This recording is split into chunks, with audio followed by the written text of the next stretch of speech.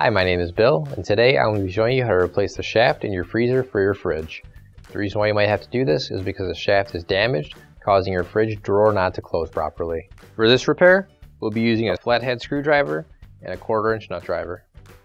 Warning, before doing any repairs, please disconnect your power source. So this is the refrigerator we're going to be using for this demonstration. It's a Maytag, and keep in mind yours at home might be a little bit different than what we have here, but the same technique should still apply. First thing we're going to do is open up our freezer drawer. And we've got to remove the two screws that are holding the door on here.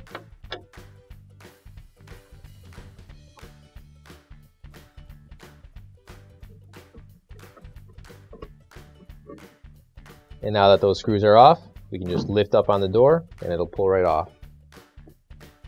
And the next thing we need to do is remove these two bin stoppers here. And in order to get it off, what I'm doing is I'm twisting up like so. And that should free it. And same thing on this side. I'm just gonna twist this up. And if you need to, just get a flathead screwdriver, wedge it in there, to give yourself a little bit of help there.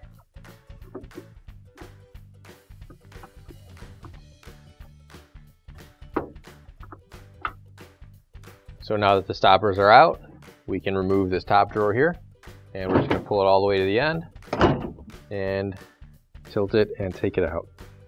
And in order to remove this bottom drawer, all we have to do is simply lift it out.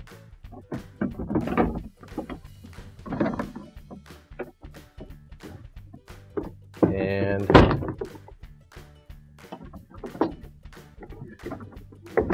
pull it right out.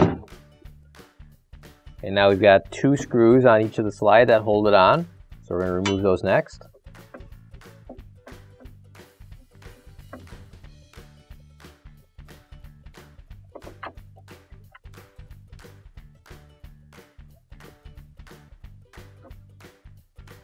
And now we're going to take the screws out on the other side.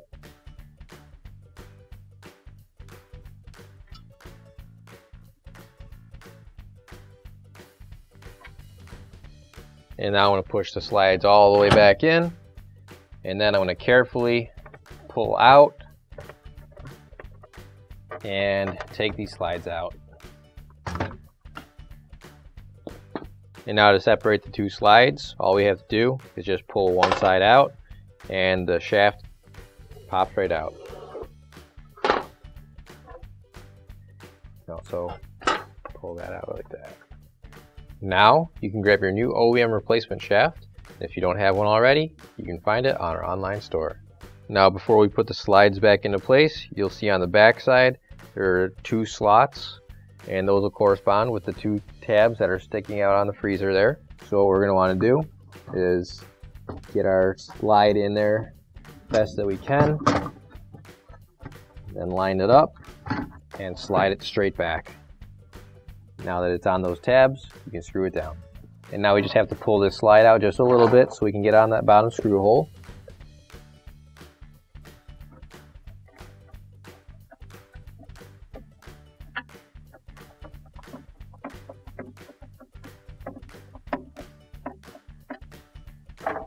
And we'll just push the slide back in. And same thing for this slide. We're just going to line up those slots and then push it straight back. And now we can screw everything back in.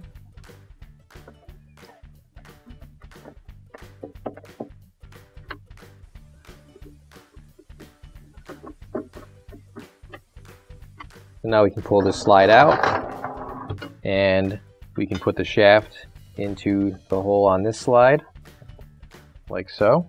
Now I want to feed the gear clip onto the shaft and you're just going to want to make sure that the slot is facing the left hand side over here. Now I'll line up the shaft and put it into the slot right here.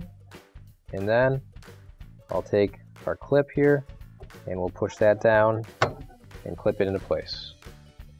Then our slides should open and close together like so. So now we can put our drawer back in. And what we're going to do is we're going to angle that back like so and once you get it in there, just let it sit down. And then what we're gonna wanna do is get that top lid down on both sides.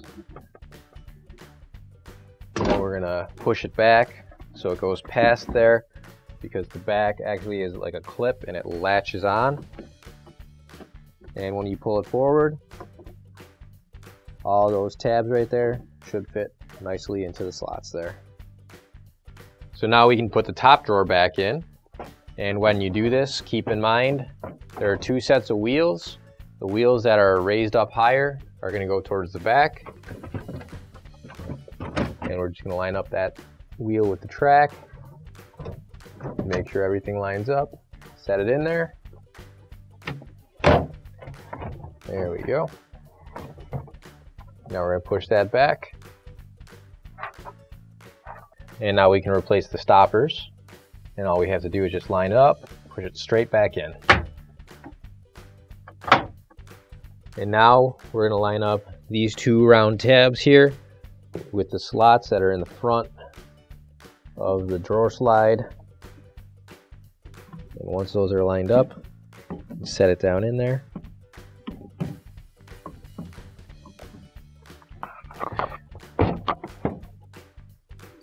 And now we can screw it back into place.